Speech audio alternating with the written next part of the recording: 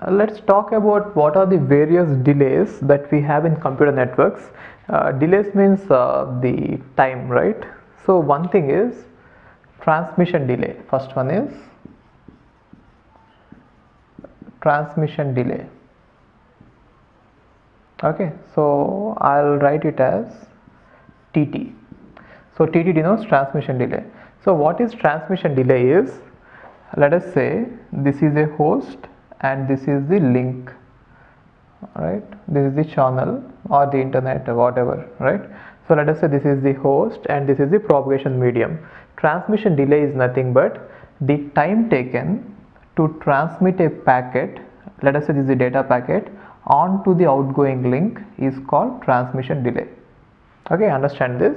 The time taken to transmit the packet the data packet from a host onto the outgoing link is called transmission delay. See whatever I am saying is informal definition. For formal definitions you please refer the textbook. This informal definition is uh, you know enough to understand the concept.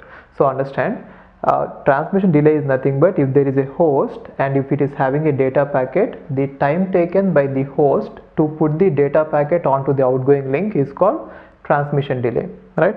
So how to, how how to find out the transmission delay is this way.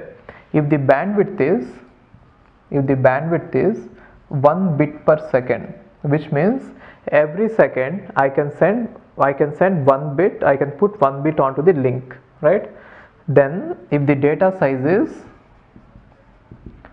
10 bits then what will be the transmission delay for this data the transmission delay for this data is in every 1 second I can put see bandwidth is saying that in 1 second we can transmit 1 bit. That is what bandwidth says. Bandwidth says how many bits we can transmit in 1 second right? It is nothing but 1 bit per second. Now I have to send 10 bits. So how much time will it take? 10 seconds. Therefore transmission delay for this data of 10 bits is 10 seconds. That is what you should understand. So if the data if the size of the data packet is let us say L bits. Size of the data packet is L bits and the bandwidth is capital B bits per second. Then what is the time taken to transmit this data of size L bits is L by B seconds. How L is bits and B is bits per second. When you divide bits by bits per second, seconds is going to come up, right? Therefore, even by looking at the uh, values, even by looking at the units, you can understand what is the formula. So, formula for transmission delay is L by B. So, uh, transmission delay depends on two two things one is length of the packet and other is bandwidth of the network if the length of the packet is too big obviously transmission delay is going to be very big which means the time taken to put a big packet onto the outgoing link is generally more. And if the bandwidth is high then the transmission delay is less which means if the bandwidth is uh, very high you can transmit the packet faster right? So let's see one problem. One problem is if length of the packet is 1000 bits and the bandwidth is bandwidth is 1 kbps. Okay? Then what is the transmission time? Transmission time is nothing but l by b and l is given as 1000 bits and bandwidth is given as 1 kbps. 1 kbps means 1000 which means you get 1 second. If the question is if the length of the packet is 1 kb not 1000 bits 1 kb and if the bandwidth is 1 kbps then what is the transmission time? So transmission time do you think that both the questions are same? Do you think that we should get only one second? I think uh, you know the answer is not the same. The reason is whenever the length of the packet is given in terms of k it is actually 1024 bits. And the bandwidth is given in k it is 1000 okay therefore the answer is 1.024 one point you have to note here is whenever data is given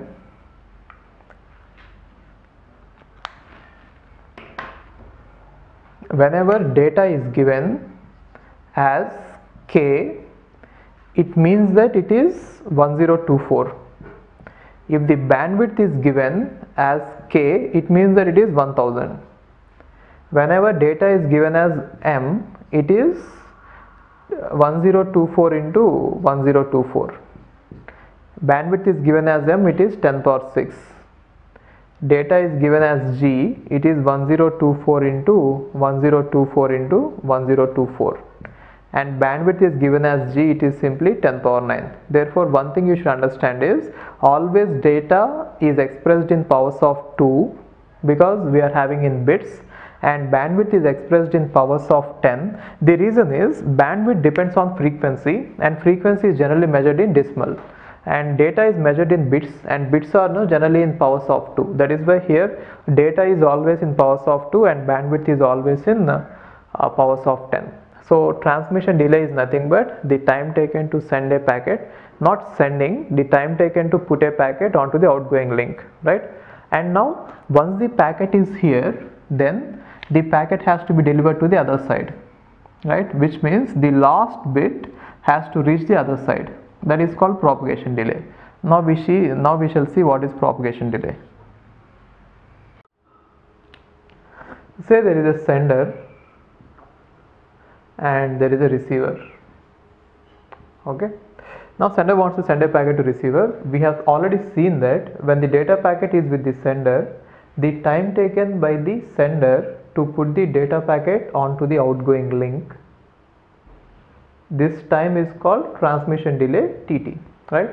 And whenever you transmit the packet it doesn't mean that the packet is received by the destination. The packet is still here. And I know first bit has traveled to some distance but the last bit is still here. Now when can you say that the packet is completely received by destination is when the last bit of the packet has moved to the destination which means the this one bit the final bit the last bit has to physically cross the entire link right? That it has to physically make a journey from uh, one end of the wire to the other end.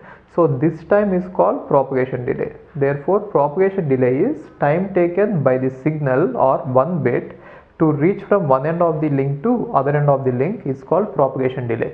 What are the factors that this propagation delay depend on is one is distance if the distance of the link is too much then obviously the propagation delay is going to be very high. And second thing is velocity right? If the speed of the signal is very high then it could reach the other end fast. Therefore propagation delay tp is generally distance divided by velocity. And uh, most of the fibers right now are optical fibers. Inside the optical fibers uh, you know signal travels with the velocity of light and generally the velocity of light is 3 into 10 power 8 so v the velocity of light is 3 into 10 power 8 in case of optical fibers it doesn't travel with this much speed. It travels with 70% of this speed which means 0.7 therefore velocity of the signal inside the optical fiber is 2.1 into 10 to the power 8 meters per second. This is the velocity of the light inside the optical fiber. So Propagation delay is distance divided by velocity and velocity in case of optical fibers is 2 into 10 power 8 meters per second. And these parameters will be given to you in the exam. You know you need not by heart what is the velocity that will be given. In case if they don't give it you assume that it is 2 into 10 power 8 meters per second. Okay? Now uh, tp equal to d by v. Uh, let's solve one question here.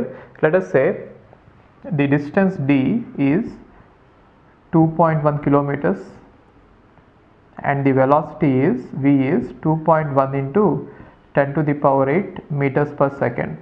Then what is propagation delay? Tp the propagation delay tp is distance by velocity. What is distance? 2.1 into 10 no 2.1 kilometers which is nothing but 2.1 into 10 to the power 3 meters divided by 2.1 into 10 to the power 8 meters per second. The reason why I converted both of them into you know kilometers to meters is so that I can apply the formula easily, right? So both of them have to be in the same units. Now it is nothing but 10 to the power minus 5 seconds, right? So generally answer, no, you got the answer as 10 to the power minus 5 seconds. So generally answer will be either in milliseconds or uh, microseconds. So how to convert this 10 to the power minus 5 into either milliseconds or microseconds is uh, if you think about milliseconds. Milliseconds is nothing but 10 to the power minus 3 right? So if you don't know how to convert it just for the sake of uh, you know uh, some shortcut i'm just saying it. Uh, most of you must be knowing it uh, still. So if you want to convert this uh, 10 power minus 5 into milliseconds you know that there has to be 10 to the power minus 3 and if you don't know whether to multiply or divide it or how to take it just do both which means 10 power 5 into 10 power minus 3 divided by 10 power minus 3 now you combine these two so that this one will be millisecond. So if I combine these two it is going to be 10 to the power minus 2 milliseconds. Right? If you want to convert it into microseconds if the if the answer is 10 to the power 5 minus 5 seconds and if you want to convert it into microseconds microseconds is 10 to the power minus 6 so again you can do the same thing. 10 to the power minus 5 into 10 to the power minus 6 divided by 10 to the power minus 6 now you combine these two. If you combine these two I think you will get it as 10 microseconds. Minus 6 is microseconds right so either the answer is 10 to the power minus 2 milliseconds or 10 microseconds. Answer will be either in milliseconds or microseconds right? Therefore if a packet has to be received by the destination there are two times involved. One time is transmission delay where you are going to put the packet onto the outgoing link.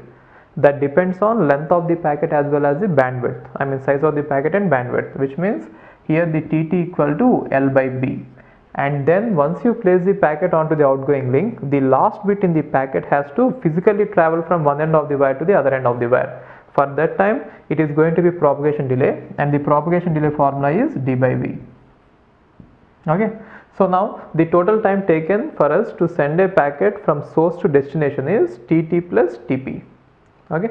So one thing you have to observe is you have to remember is uh, the size of the packet will be in powers of 2 in, in case the size of the packet is k it is 2 power 10 and the bandwidth is in powers of 10 because the bandwidth is generally measured you know in terms of frequencies therefore it is base 10 and here you know distance and velocity you have to convert both of them into same units like meters and meters per second or kilometers and kilometers per second.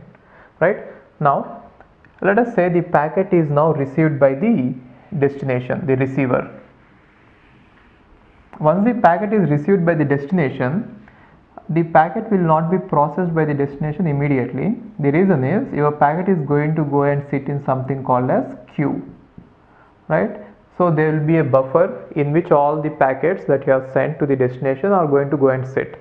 Uh, and whenever the receiver has time, the processing time, then it is going to take the packets one by one from the queue. So the amount of time any packet sit in the buffer and wait before being processed is called queuing delay.